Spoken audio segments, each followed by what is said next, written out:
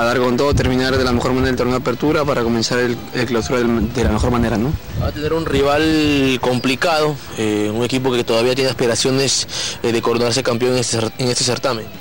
Sí, sí, sí, acá lo sabemos y que Melgar tiene opciones, pero a nadie le gusta que den la vuelta o que campeonen en tu casa. ¿no? Nosotros vamos a hacer nuestro trabajo el día domingo, como te vuelvo a decir, a terminar bien el torneo de apertura y comenzar bien. ¿no?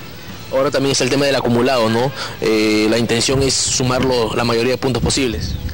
Claro, también la intención es ¿no? sumar los puntos posibles que se puedan, porque sabemos que también es, porque sabemos que también es una opción para llegar a la semifinal, ¿no?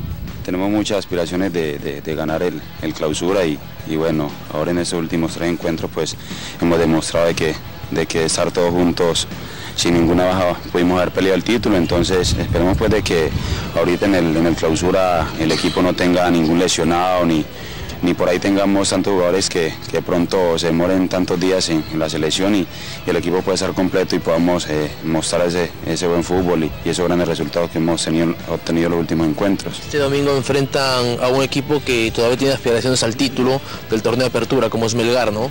Sí, claro, eh, vamos a ser juez en, esto, en, ese momento de, de, Melgar y vamos a darlo todo porque acá el local vamos a ganar para que tampoco se presenten por ahí algunas algunas eh, malas interpretaciones, vamos a darlo todo y, esperemos pues conseguir los tres puntos que se queden, se queden casi y ya después que quede campeón el que mejor haga las cosas.